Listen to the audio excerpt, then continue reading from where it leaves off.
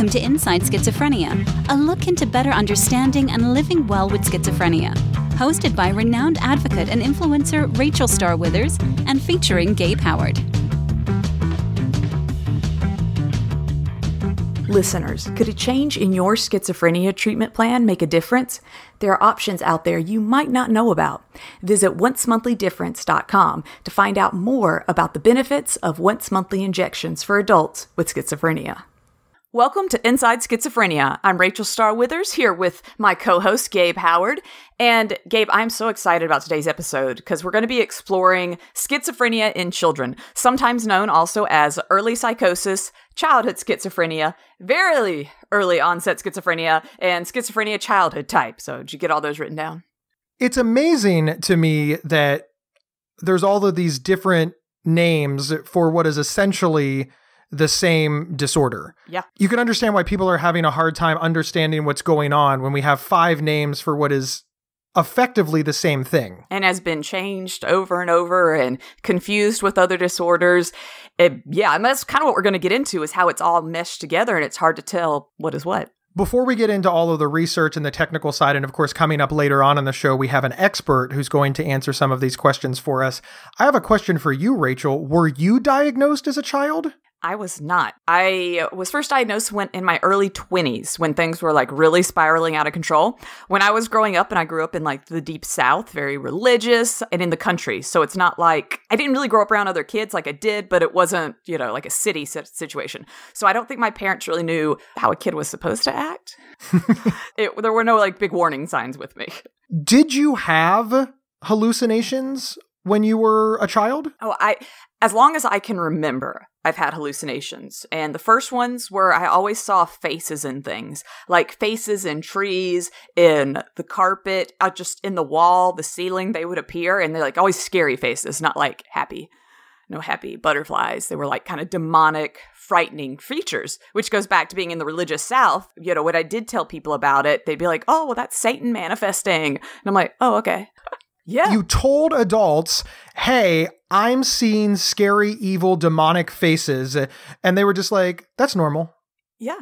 I, I, think it probably freaked them out, or they just thought, hey, this little kid is just really imaginative. And you've been sitting in church listening to the preacher holler for the past two hours about hell and brimstone. Of course, you know, everyone's probably seeing scary demons. Religious stuff aside, how do you know the difference between a child's imaginary friend and a child's hallucination. I know lots of children who have imaginary friends who do not have schizophrenia. Oh, absolutely. And I think growing up, it kind of freaks some people out that they don't know how to deal with it. Like if your kid is coming with an imaginary friend and you're like, oh, okay, you know, we'll play along. But well, yeah, when do I stop playing along? When is my child too old for this? The same thing, like, when is my child too old to believe in Santa? So now my kid's hitting 13 and they're still talking to somebody imaginary. Mm, maybe, maybe this is bad.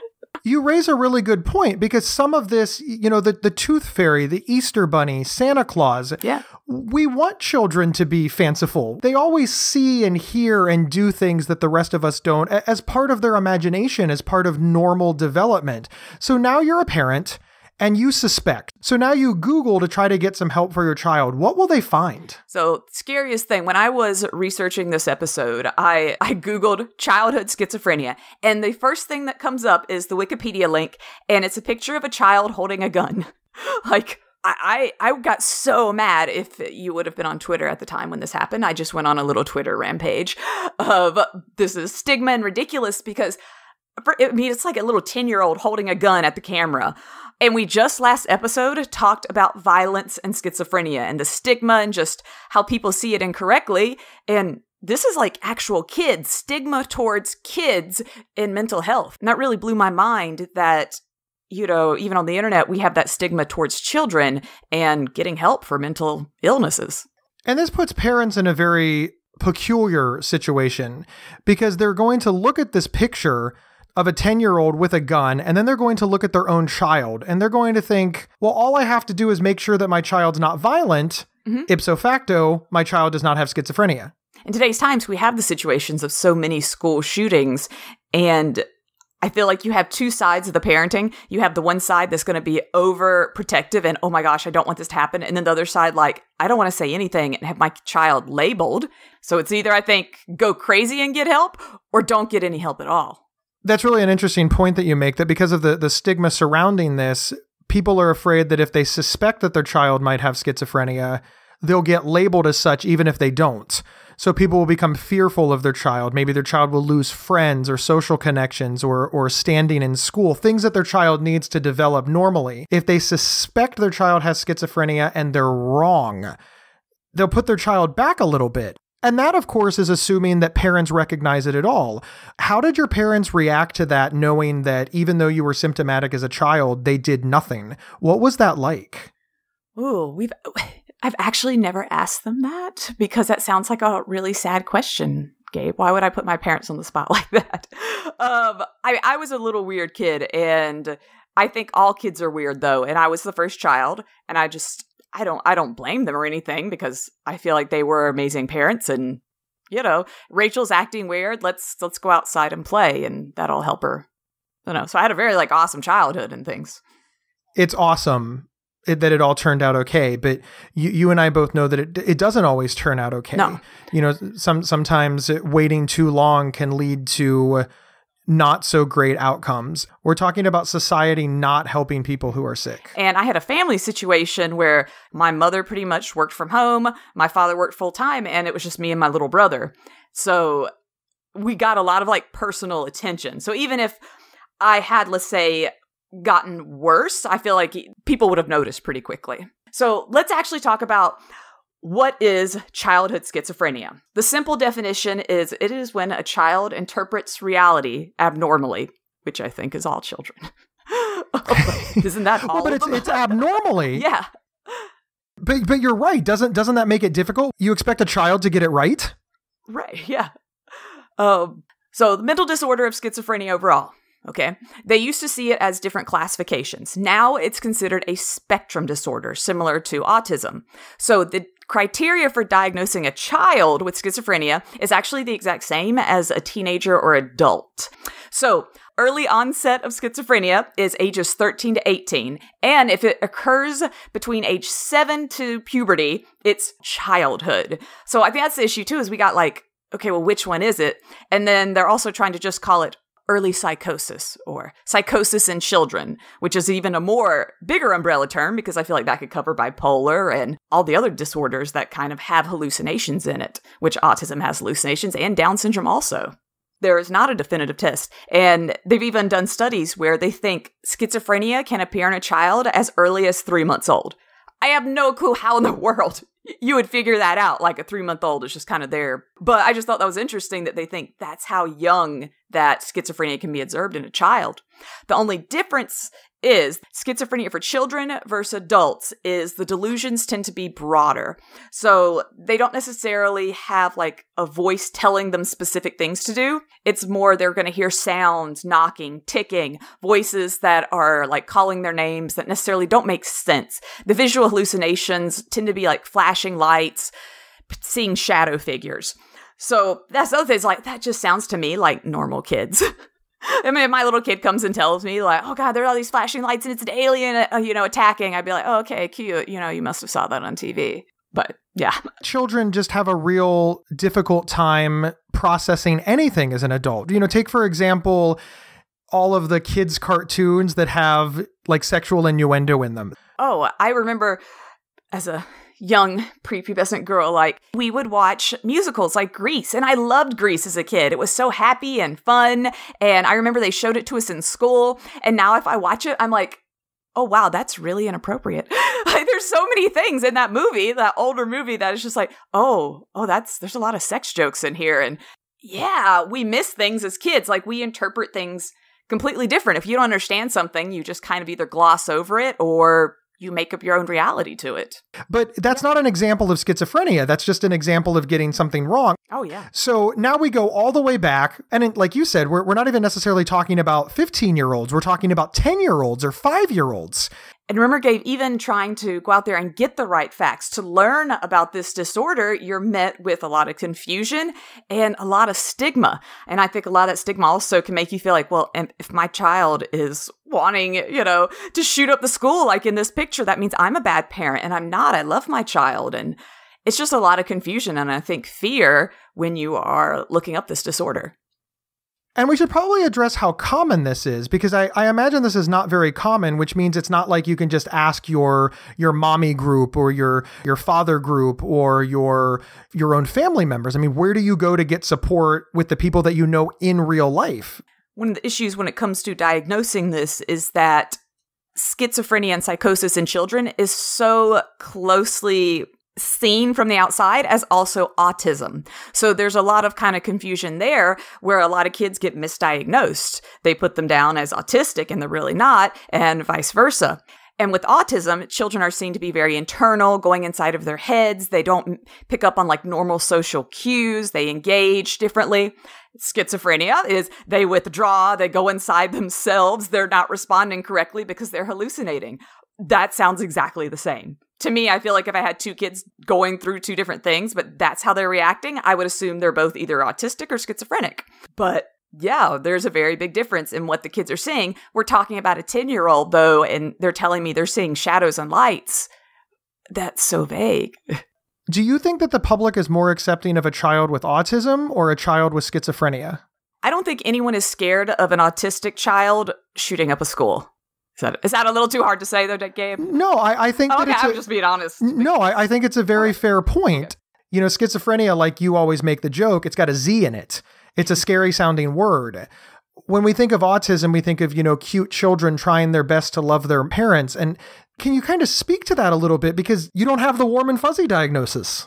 No, and and I actually had a family member who had very very serious autism who is no longer with us, um, who was very young, and autism, it's a very hard thing to deal with. When we go back to that spectrum disorder, there's a big spectrum. And unfortunately, my family member was very, very held back mentally by it. And I don't think anyone was ever scared of him that he would pull out a gun. You know, no one was ever scared like that. You were more scared for him. You felt bad. You were worried about him. Whereas schizophrenia, I think you're going to be like, oh, I, I don't want my kids near him. I don't want my kids near her. Like that that that's going to be the kid that just starts like stabbing people. But there's fear that autistic kids will be disruptive in the classroom. So there's stigma on both sides. Another thing is that we go back to that whole getting a diagnosis for my child. There's a lot more support and just help and programs for autism.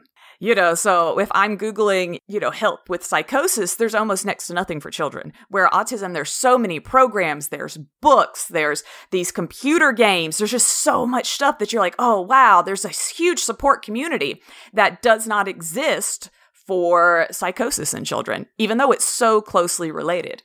Um, as a parent, that would worry me too. I'd be like, well, if I have to get a diagnosis, how about the safer one. Even if it's wrong, I would get a lot more help. It, it's a really good point. There, there's nothing to definitively prove psychosis in anybody schizophrenia in anybody, uh, let alone children. It's all self reporting. So this does make it difficult. And that does mean that you know, unfortunately, human error can get involved, and a, a parent can steer their child, steer their provider into the safer diagnosis. And it, it's always difficult to compare and contrast illnesses. I don't want anybody to think that we're saying that autism is better than schizophrenia or vice versa. Correct. It's just a conversation about how society is seeing these illnesses and why it makes it difficult to get the right diagnosis and the right help for a child when there's all of these external factors and coming to getting the right help. Right now, with psychosis for children, schizophrenia, the only help, the only treatment is the exact same thing for adults, which is antipsychotic medications, and which have really intense side effects. A lot of them aren't allowed to be given to children to start with, but a lot of the side effects I have now, I would not wish on anybody else, but especially not a child. So you have that whole thing playing. Well, okay, if I give my child this, certain things might become a lot worse. And your other treatment options are going to be like social programs, individual therapy, a lot of family therapy, so everybody in the family can kind of jump in. The treatment isn't really a specific okay, I just give them this pill every day at this time and everything's going to be okay. Well, let's talk about that for a second. Because as you know, in adults, there's a lot of controversy about whether or not people should take psychiatric medications. There, there's lots of scary stories. And now we're talking children. So now a parent has to decide if they want to give uh, psychiatric medications to their child, knowing that adults are having this giant discussion. What is that like for a parent? For just me, and you'll hear other schizophrenics say it too, it's you're playing Russian roulette with medication. So you're constantly having to try things, adjust levels, and now we're dealing with a child who isn't very good at voicing what's happening. And that parent is going to have to be like really on top of things and charting. And it's just a lot is going to fall on the parents when it comes to psychosis in children. And it's more likely than not that their friends and family and the general society is really looking down on them. Oh, you don't want to raise your child. You just want to give them a pill. This isn't to say that children with schizophrenia shouldn't be on medication, but these are the things parents worry about. There's just an incredible amount of stigma in the treatment of schizophrenia. Yes. And when I was researching all of this, I then went into researching specific therapists who deal with schizophrenia, psychosis, and they're all a lot more expensive than let's say a normal therapist. So there's also just the cost of all of this is insane. You know, when one of the treatment sites suggested family therapy once a week, child therapy twice a week, you know, and we're talking $100 a pop, like that adds up on a family really quick. So you want to give your child everything. You want to help them, but there's also that cost factor of trying to do all of this stuff. And a lot of it's not available in your area. If you're in a big city, you can probably find a therapist who specializes. But I mean, I'm out in South Carolina and no one came up on my Google search. And I think that it's also important to remember that families are all structured differently. For example, you can have a single parent family with three children. Well, that means one child is taking up the majority of not only the financial resources, but the single parent's time. And then you've got other families that, you know, are, are two parents with one child. Well, and of course, we all understand the difference in health insurance, financial resources, and as you mentioned, the difference between living in a big city and a rural area. And it even varies state to state. We'll be right back after this message from our sponsor. It can sometimes feel like another schizophrenia episode is just around the corner. In fact, a study found that patients had an average of nine episodes in less than six years. However, there's a treatment plan option that can help delay another episode a once monthly injection for adults with schizophrenia. If delaying another episode sounds like it could make a difference for you or your loved one, learn more about treating schizophrenia with once monthly injections at oncemonthly.difference.com. That's oncemonthly.difference.com. We are back talking about schizophrenia in children. Is there good news in all of this? What's the success rate for a child who is diagnosed early and gets the intervention and help that they need, how do these children end up? Because I, I, believe that society thinks that all of these children end up institutionalized or as as criminals or in prison. What are the actual stats on this? Is there hope for these children? It's just like any other medical situation. If you have the right diagnosis and the right treatment, you're going to have a lot better outcome. Me, myself, like I said, I wasn't diagnosed till later, but once I was, that was such a huge weight off my shoulders. For when I knew I wasn't demon possessed anymore. uh, but like, oh, I have a real thing that other people in this world have. And I knew how to, I at least had a road to go down for treatment. I knew that I needed to talk to a psychologist, psychiatrist. Like, I knew what type of doctors, what type of medication I was going to need, what type of therapy. And there is no like, oh, well, this is the exact thing you need to do that'll work for you. Because believe me, over the past 14 years, I've tried so many things and had to adjust. But at 34, I'm about to be 34, happy birthday to me, things are going really well, I think. I'm as sane as I've ever been. I don't know, but I have a really awesome life.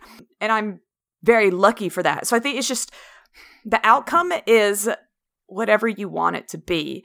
And just being able to support your child and push them to what they want to do and find ways. Yes, it's going to be harder, but you can totally find ways. You can find ways if you get the right diagnosis and the right treatment. J- just to clarify, mm-hmm. right? You can't find the right way magically that that that's the problem with all of this misinformation and all of this stigma it leads you astray Yes, that's correct, Gabe.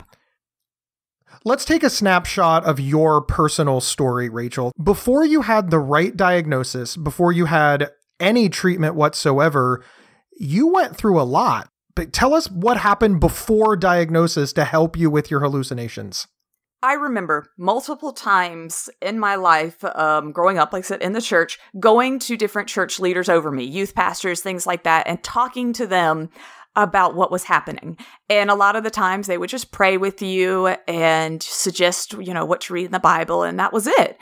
And it kind of escalated to the point where I was at a Christian school at age 17 and they actually did an exorcism on me.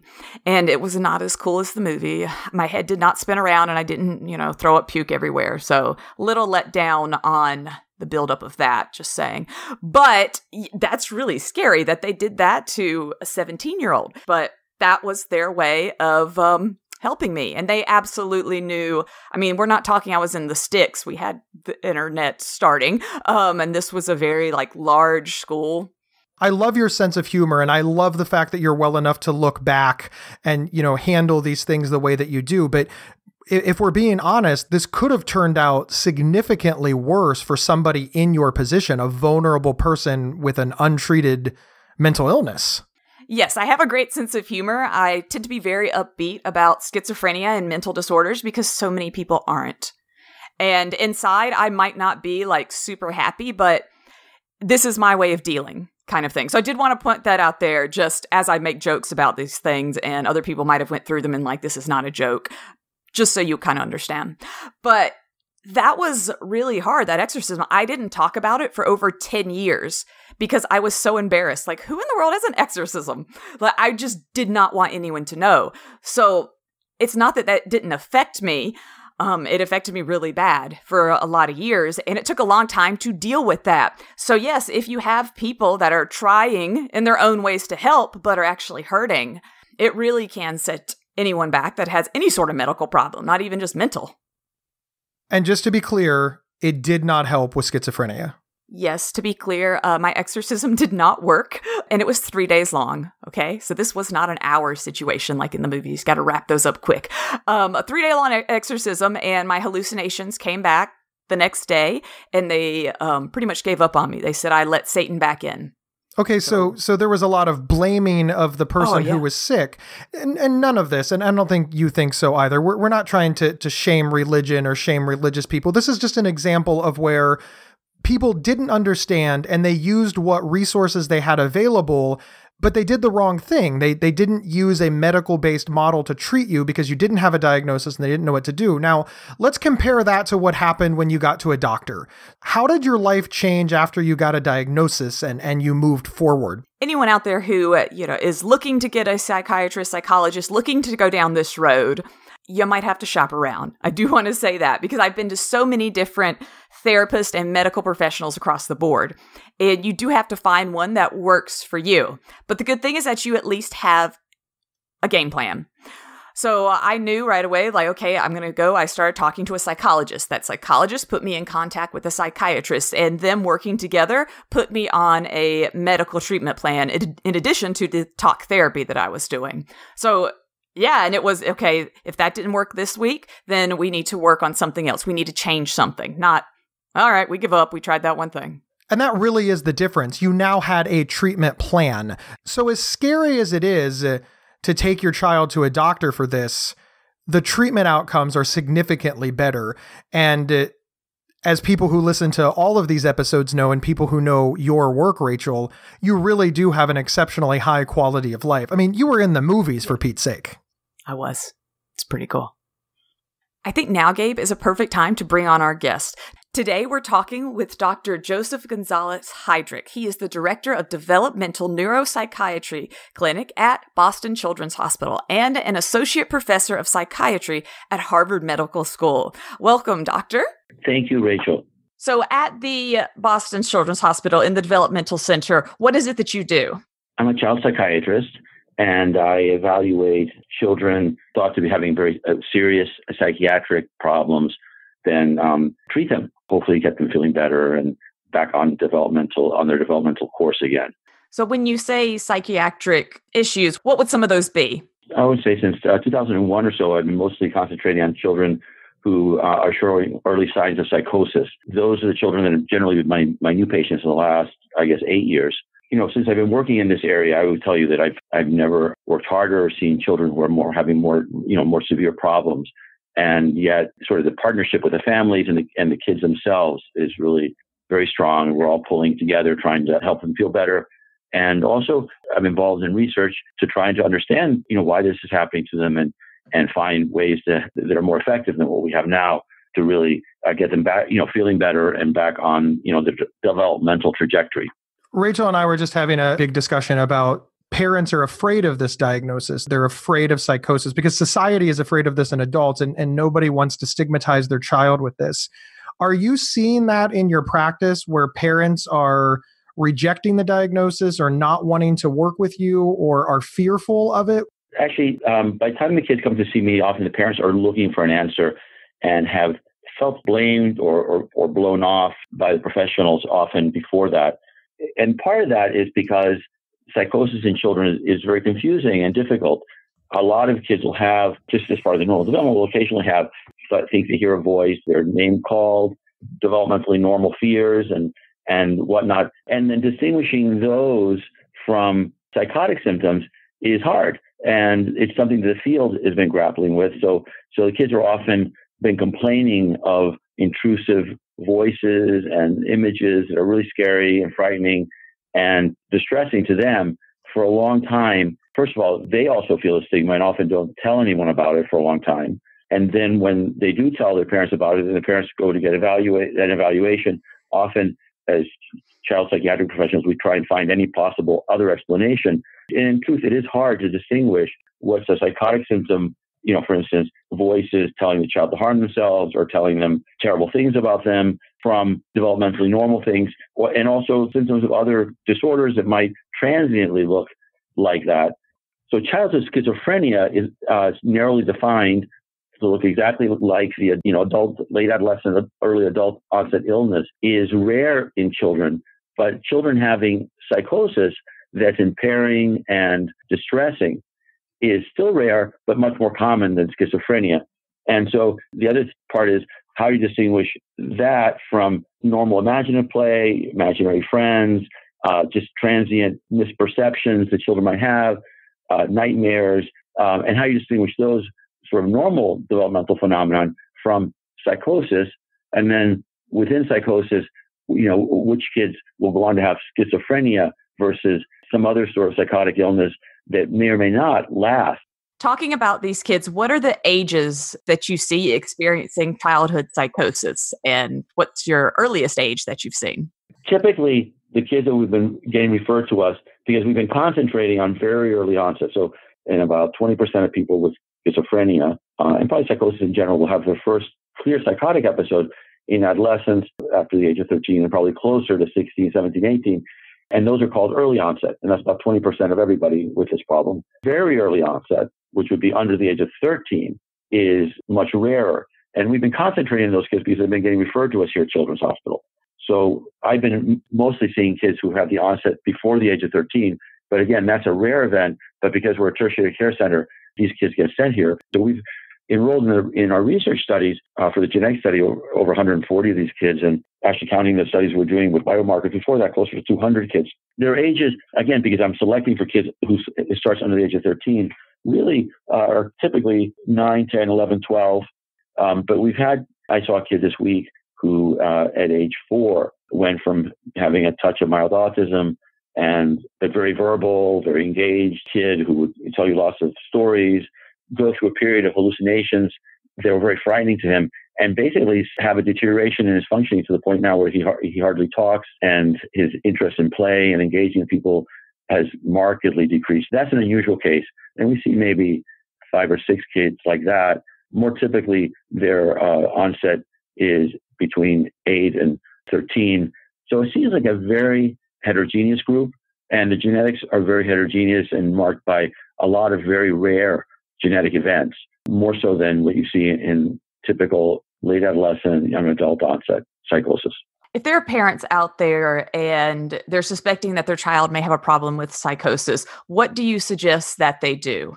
Well, I would take them in to be evaluated by a professional. And I'd also observe carefully, you know, write down with observations that they have. They're making them worry about this. If the child's behaving oddly, it's also it's really helpful to get a video of that so that the professional in the office can view it with the parent to try and figure out what's going on. And then depending uh, on how gradually it happened, et cetera, there might be some neurologic workup that has to happen. So an EEG, depending if, if again, if there's been a very abrupt onset, then we'll worry about things that can look like schizophrenia, but are autoimmune disorders, antibodies attacking the brain, you know, relatively infrequently, but those are things you don't want to miss. Metabolic uh, problems that need to be diagnosed and could be treatable. And so it's important to take, get an evaluation. There should be strong consideration of, neuro, of medical and neurologic causes along with the, the psychological, psychiatric evaluation. So likely it would be best to have someone who has um, a lot of experience evaluating childhood onset psychotic symptoms to really take a look and see how typical is this of the kids that, that have those sort of problems versus uh, very frequently it might be not that. It might be misinterpreting things are either due to another problem like a major depression or an anxiety disorder or sometimes also just developmentally normal things. So I think getting an evaluation would be important and careful observation, putting observations would be very important. When it comes to treating the child, are there side effects with medications that we should consider? There's two issues with them and they're the antipsychotics. As you mentioned, they have side effects, the flattening and, and how people just feel sedated or just, they're not fun to take. You know, people often, you know, will take the medication because, you know, because they've learned that, that, that, that if they don't, they're, they're, they're tortured by these terrible psychotic symptoms or voices. But then, um, but, but, but the medication themselves do feel, make you feel flatter and duller and harder to enjoy things and whatnot. Um, you know, it might be on the whole Plus, if you're getting rid of voices constantly telling you terrible things and, and whatnot, the, the things that are most difficult about, especially the second generation antipsychotics, uh, is the weight gain and metabolic problems. So they increase appetite, um, some more than others, but they all seem to increase appetite and make it harder for the kids and for everyone who takes them to keep their weight at a healthy level. And so the kids will uh, gain weight, and then you know, and then we worry that's going to put them at the longer term risk of type 2 diabetes and metabolic syndrome and all the complications of obesity. So that's actually the biggest problem is those side effects. The families, by the time they come to see me, they are ready uh, and they want some help. The other problem with these medicines, though, is that they're not completely effective. They're treating symptoms. They're not treating the underlying cause. And so while you might be able to get hallucinations delusions under control, the other symptoms having to do with decreased motivation, decreased concentration, decreased sort of ability to get up and do stuff. But those are really uh, still there, and we haven't found good ways of treating those. Part of the research that, that we're doing, you know, looking for these rare genetic causes, because the hope is if we understand the genetic cause, we can go from the gene to knowing what the gene makes to knowing what that protein does. And we can do these amazing things now that would sound like science fiction uh, even 10 years ago where we can take kids' blood cells and turn them into uh, neurons and study the neurons in a dish and try and understand what's wrong with the neurons, and then screen lots and lots of medicines to see if any of them will reverse what's wrong with the neurons. So we're looking for new treatments that might prevent the symptoms from coming up to begin with and be more effective in reversing symptoms than the treatments we have now, which are lessen symptoms, but they don't get at the underlying cause. The parents are usually are willing to go with the medications because they've been, they've been seeing their child suffer for a long time uh, with very significant, serious symptoms we still have battle with ourselves in terms of can we do this with a with a medication which has less side effects. We've had kids respond to Prozac family medicines where classically might thought they would need an antipsychotic, and some of them will respond to that, and that's great because those have a lot fewer of those problems that I just discussed. But often they do need the antipsychotic, and then we have to work hard to maintain their well weight at a healthy level, make sure they're getting exercise, and then the other treatments of psychosis, which are medication, which have to do with helping the school understand the child and how to best teach them and support them. And then there are people that are looking into things like cognitive rehabilitation and whatnot to try and get back some of the functioning that might have been lost um, as a psychotic process took hold. We were talking earlier in the episode about seeing this from an everyday person's point of view, but seeing it from a scientist's point of view now, that's really awesome. And thank you so much for coming and sharing that with us, sir. No, th- thank you. So just for raising awareness, because I think that one of the things that I think is really hard about this is uh, lack of awareness, lack of understanding in our society of this. It makes it harder for kids to get the treatment. It makes it harder on families who end up getting feeling blamed and whatnot for something which has a large component that's biological in causation and not and not in their hands. Thank you again. We really appreciate it, and we've learned uh, a lot. All right, all right. Thank you so much. That was really awesome. And I am so thankful that we had somebody from Boston's Children's Hospital associated with Harvard Medical School. They really do great research and they're looking into schizophrenia to make life better for well frankly everybody with mental illness because this is this is cutting edge and this is important and I'm so glad that he was willing to take the time. Rachel, how did you get him to do this?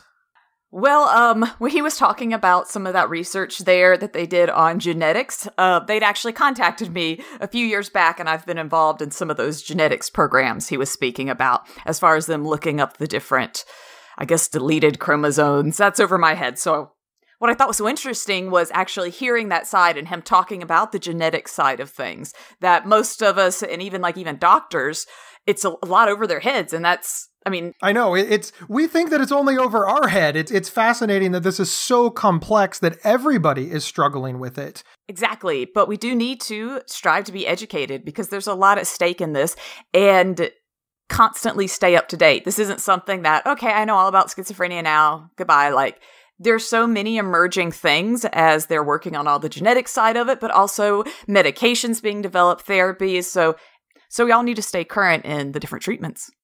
As somebody who experienced symptoms as a child, who is now an adult, was there anything that he said that was surprising to you? He didn't hit on it much, but when he said the youngest age was four, that's so young to me. How, how do you, yeah, distinguish at age four what's pretend and what's not? And so it fascinates me that they're able to do that, that they're able to figure out, you know, the difference between which kids have autism, which kids are just over imaginative and which kids, yeah, have psychosis. That just fascinates me. I was really surprised by what he said about the parents because a lot of the things that we hear and read is that parents are just really rejecting this idea and they're fighting hard against it and they're scared to get help. And all of those things are true. But his perspective is different. He said that by the time that they reach him, they're they're desperate and they're scared and they're looking for answers. And that's something that I hadn't considered. How did that hit you as a person living with schizophrenia? I really liked then he said that because it made me think, oh yeah, because that's kind of how I was. I didn't know what was going on and I was desperate for help. At first I was I couldn't find like a good counselor because I didn't know I needed a psychologist. um and I could just like as he was talking, I could picture myself being in that situation of just I'm so worried, no one is helping me, I don't know what to do, and the fact that it's about your child is so much deeper. Are you encouraged by the amount of research and about the amount of knowledge that is going on in the country right now? I found it so encouraging that he was able to tell us all these different projects that they're working on, all this different research that's currently being done, all these different like kids they're looking at and trying to help. Like that's incredible to me. And that gives me so much hope. A lot of times when you do get the diagnosis of schizophrenia or another mental illness, it's just like, oh no, your world is ending. And it's just a lot of fear. And I just like that he had so much hope for the future, where this was all going. It wasn't, you know, him talking about the research. It wasn't like, oh, well, give up, guys. Uh, but it was like just things he's finding out that are different, that are new. And I love that. So, how I'm being treated right now could be completely different in two years. Who knows what could happen? And that's so encouraging to me. I liked his overall message of uh, listen, this is a medical illness and you need medical treatment because we're doing medical research and we're constantly learning and we're constantly growing and we have a plan. And if it doesn't work out, we'll make another plan. And I think that's very, very important, especially for people wrestling with whether or not to have their child diagnosed or to see a doctor. I really hope that people can listen to that and really hear that there's so much going on and the outcome is Rachel Star's life right now. The outcome is is adults living well uh, in spite of their illness.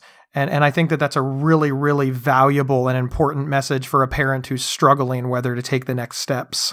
And just on that note, not even just so much living well, but being able to live. A lot of times when you have this diagnosis, it's hard to even consider the future at all. It's hard to picture yourself alive next year. And for me, I don't know, that gave me like some amazing hope with the way he was talking that I don't have to like be so worried about the future. I don't have to worry that, you know, my brain's just going to fall apart and I'm going to end up in a mental institution. Like that's, that was just so cool though that he's saying like all the different changes that are coming. I think that that's incredible. Rachel, where do you as a person living with schizophrenia fall on this? What's your what's your takeaways? If this was the situation of my child had schizophrenia, if I had a child, I would want them to get the best treatment possible. And I would strive to help them in any way. I personally would still want them to have an amazing, awesome, cool, normal childhood. I wouldn't want to just be like, okay, well, I'm dropping you off at the hospital. See you in six months. but for me and people out there who might be scared of getting a diagnosis, you can get a diagnosis. You do not have to tell the world. I do know we're on a podcast about it, but you can keep it quiet, but don't let the stigma and the fear hold you back from getting your child help or getting yourself help. Thank you everyone for tuning in to this month's episode of Inside Schizophrenia. Subscribe, like, and share this episode on social media. My name is Rachel Star, and I will see you next month. Inside Schizophrenia is presented by PsychCentral.com, America's largest and longest operating independent mental health website. Your host, Rachel Star Withers, can be found online at rachelstarlive.com. Co host Gabe Howard can be found online at gabehoward.com. For questions or to provide feedback, please email talkback at psychcentral.com. The official website for Inside Schizophrenia is psychcentral.com slash is. Thank you for listening, and please share widely.